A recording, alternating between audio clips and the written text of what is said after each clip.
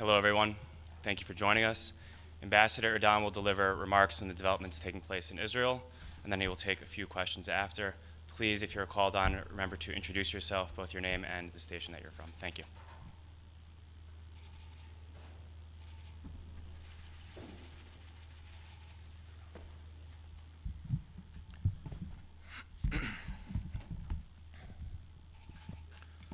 Good afternoon. The past days have been devastating for each and every Israeli. Israel suffered an unprecedented attack, and the number of casualties is catastrophic, truly unfathomable. Over the past two days, following Hamas's surprise attack on Israel, my country has suffered hundreds of fatalities. Yesterday, in the early morning of the Jewish Sabbath and on a Jewish holiday, savage Hamas terrorists fired thousands of rockets into Israel. But this was only the beginning. As rockets rained down indiscriminately upon Israeli towns and cities, hundreds of Hamas terrorists infiltrated Israel and began a barbaric pogrom a barbaric pogrom of unparalleled magnitude. Ruthless terrorists gunned down innocent Israeli civilians in the streets, murdering anything that moved. Anything. I'll show you just one example. Just look at this photo of bodies of women strewn, strewn in the street, in a bus stop, innocents murdered in cold blood. These animal like terrorists broke into homes, gathered entire families into rooms, and shot them point blank as if they were stomping on, on insects. Grandparents and the elderly, among them Holocaust survivors who endured the Nazis, were violently dragged from their homes, this time by Hamas, and taken into Gaza.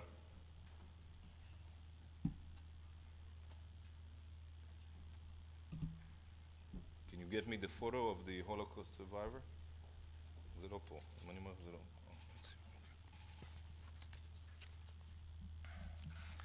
Look at this grandmother being forced to hold a Hamas terrorist rifle as he takes a picture with her. This is inhumane. Inhumane. Mothers and their babies, as well as babies separated from their mothers, were brutally taken hostage. Just look at this video now.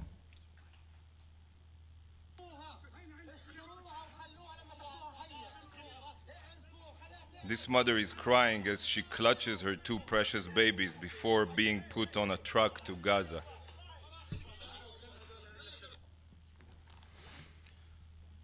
These are war crimes, blatant, documented war crimes.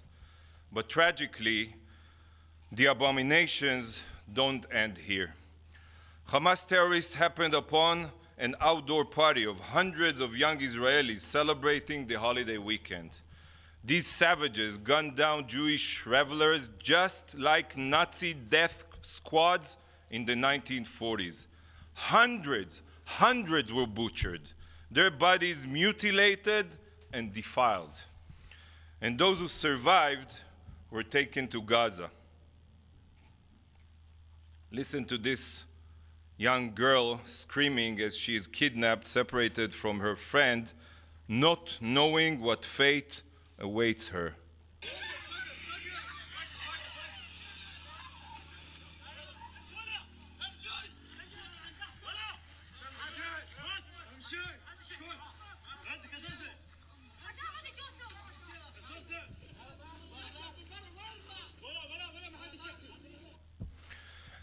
Try to comprehend the magnitude of this situation. Try to digest the ruthless inhumanity.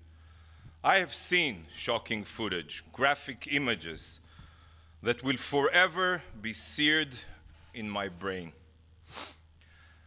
What we are witnessing are war crimes, blatant, barbaric war crimes, slaughtering civilians, abusing hostages, taking babies from their, from their mothers. There are no words to describe such savagery. I don't want to imagine what is happening right now to all of those innocent Israeli civilians being held captive in Gaza, the horrors they are enduring. Look at this, look at this, and do not forget it. The horrors.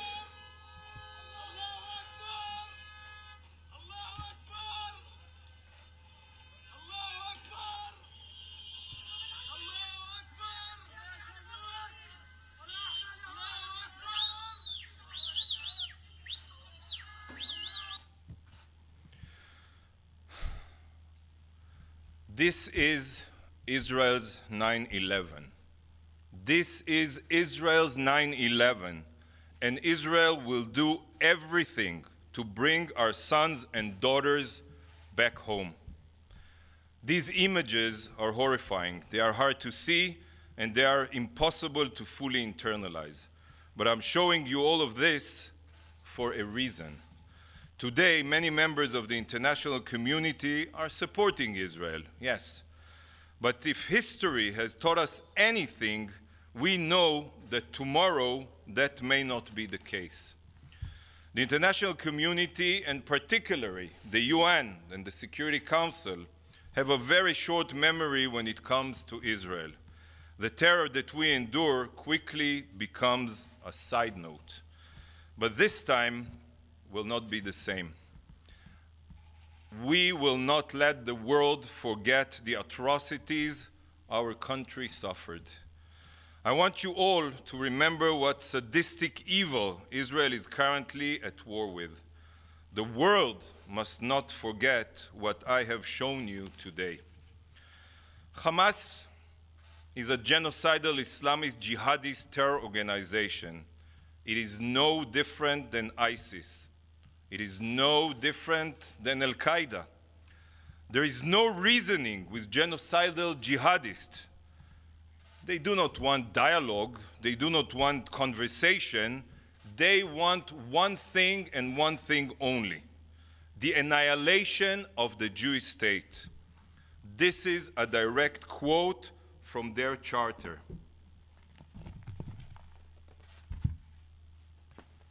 The day of judgment will not come until Muslims fight the Jews and kill them. This is the Hamas charter.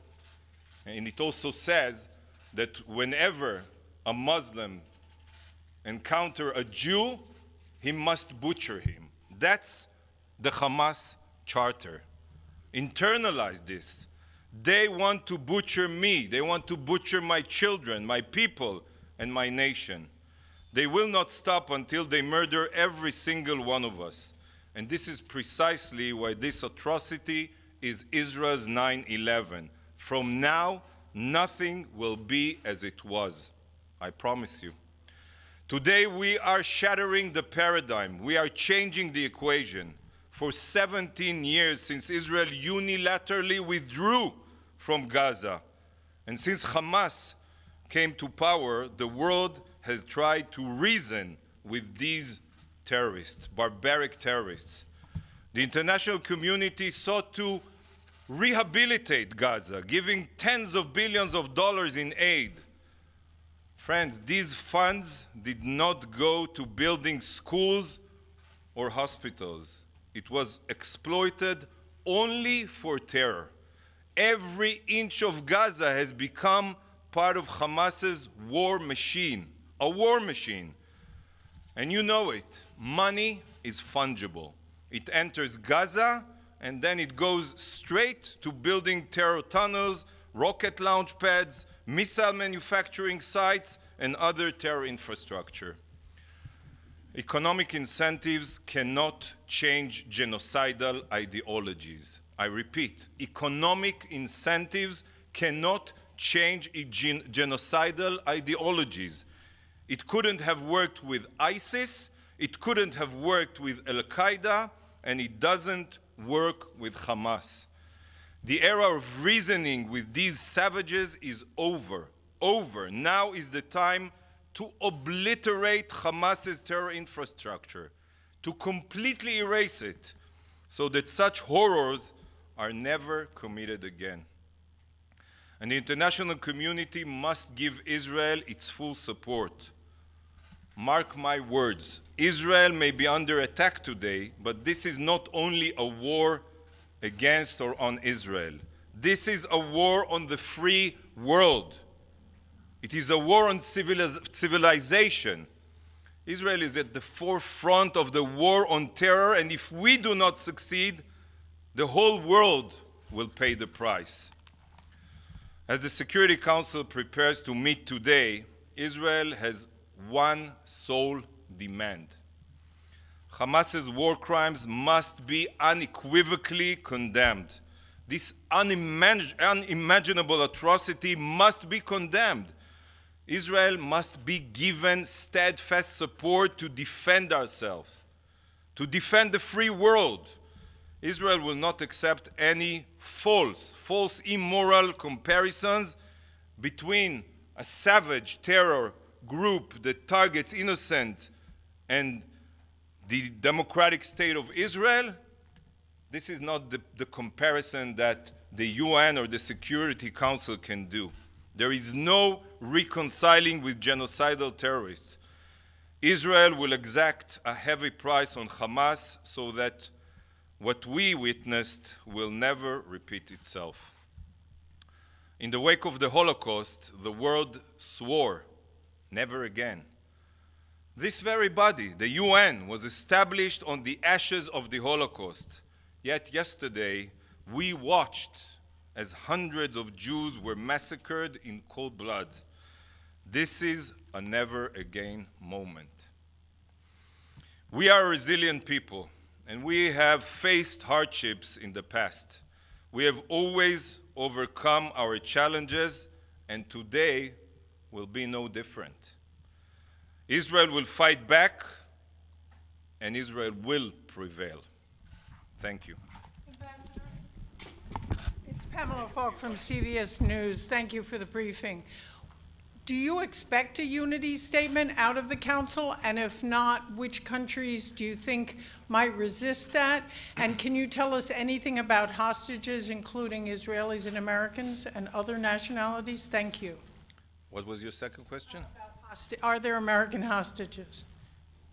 Um, regarding American hostages, I can't get now into uh, uh, details. Obviously, uh, you know, it's an ongoing war now, and uh, we have to be responsible now and uh, double check everything, so I cannot comment uh, on this question.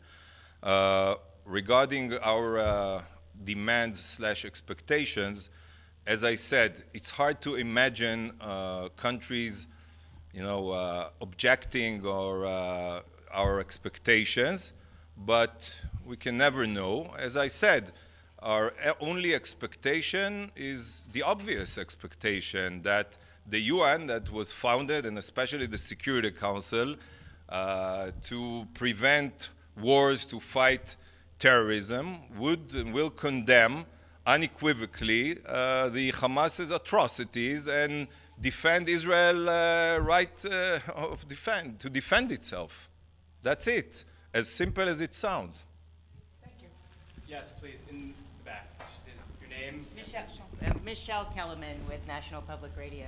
Um, first of all, are, are there um, is there evidence that either Iran or other UN member states were involved at all in the planning for this? Um, and secondly, um, uh, are you asking the UN, the ICRC, any other international organization to help with regard to the hostages? Um, we cannot, and obviously we're not going to share our uh, plans and uh, military plans and strategy uh, because it's a war, and uh, we do not intend to share our uh, plans with the enemy. Uh, what, what is your other question? Oh, regarding Iran.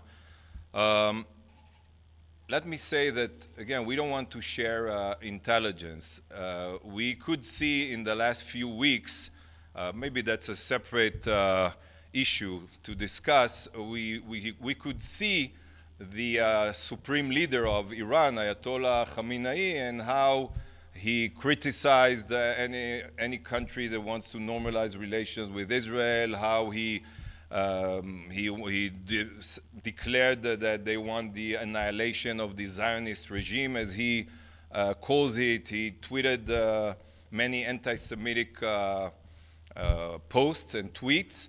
And we could see a few weeks ago that, he, that uh, president, the Iranian president, the butcher of Tehran, Raisi, met with the leadership of Hamas, and we know that there were meetings in, uh, in uh, Syria, in, in, Lebanon, if I remember correctly, with uh, other leaders of the uh, terror armies that surround Israel. So obviously, it's easy to understand that they try to uh, coordinate, you know, the military, the, the, the terror armies, the terrorists, the proxies of Iran in our region, they try to be coordinated as much as possible with Iran because for the long term, uh, their goal is uh, to try and destroy Israel with uh, the nuclear umbrella that Iran will uh, provide them with. That's the long term goal. Yes, please. Ambassador. Hi, Margaret Besheer with Voice of America. Ambassador, you mentioned normalization of relations. Does this mean uh, talks for Israel and Saudi Arabia to normalize are off the table indefinitely? And secondly, uh, President Biden and Prime Minister Netanyahu spoke today. Uh, Biden assured him of additional assistance to the IDF. Could you give us some details?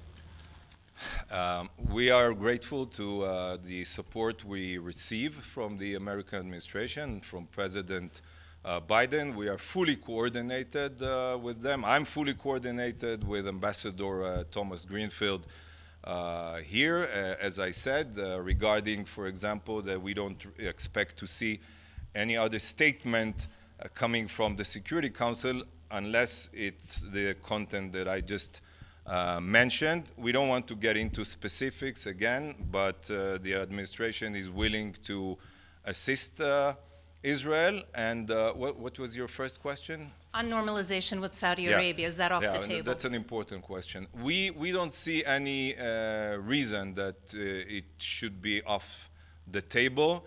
Again, we believe that there's a moderate you know, there, there, there are moderate countries in our region that uh, wants to normalize relations and live in peace and uh, coexistence.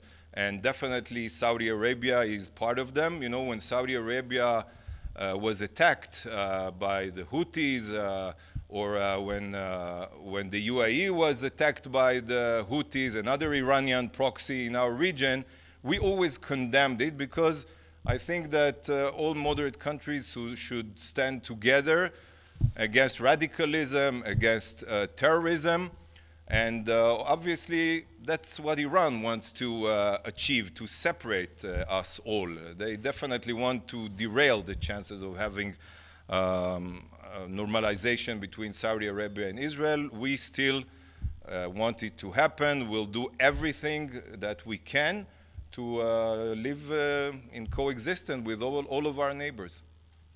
We have time for one more question. Yes. Give them two. Ambassador Nada Tawfik with the BBC. This format, closed consultations, do you want to see an open meeting of the Security Council? And to those countries who have said this will continue as long as there isn't a peace, a two state solution, what's your reaction to their statements?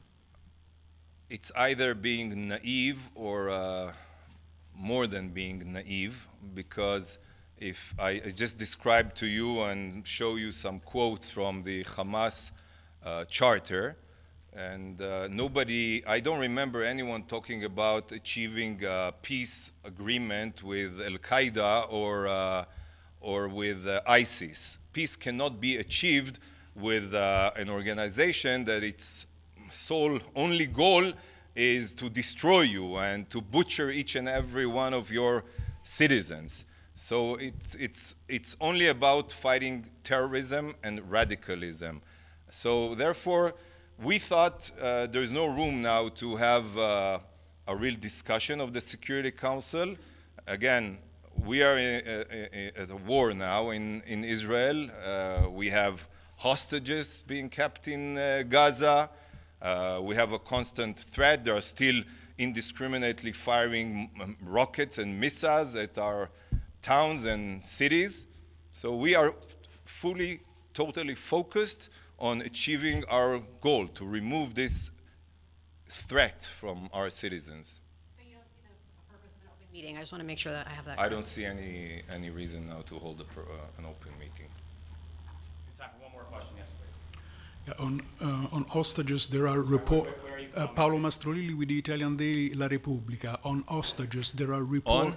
Hostages, there are reports of a possible deal in exchange of uh, restoring electricity, the uh, freedom for uh, children and women. Are you willing to consider something like that without getting into details? We're, we're not dealing, we're not even dealing with it uh, right now. As I said, we're not going to share any information or intelligence publicly. Uh, I, I believe uh, you will see that Israel is uh, determined, as I said, to bring back our boys, girls, babies, grandparents who were uh, taken forcefully to Gaza, and we are determined to obliterate the, terror, uh, the terrorist infrastructure there that is threatening all of us and the future of Israel. Thank you very much.